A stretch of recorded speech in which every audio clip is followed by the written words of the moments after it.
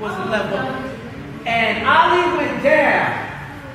And Frazier hit him with the best punch that he possibly had. The kind of punch that when Frazier hit people with that punch, they were knock out. That was it. Fight was over. Ali got up in three seconds.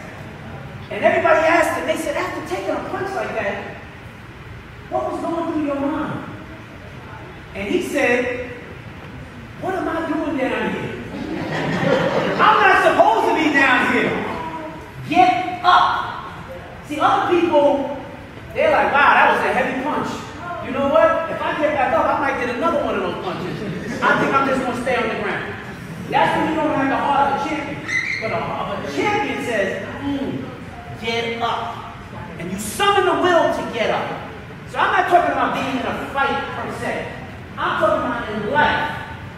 If you have a teacher in your school who you, who doesn't believe in you, who doesn't think that much of you, who might even have an in for you, you can't let that shut you down.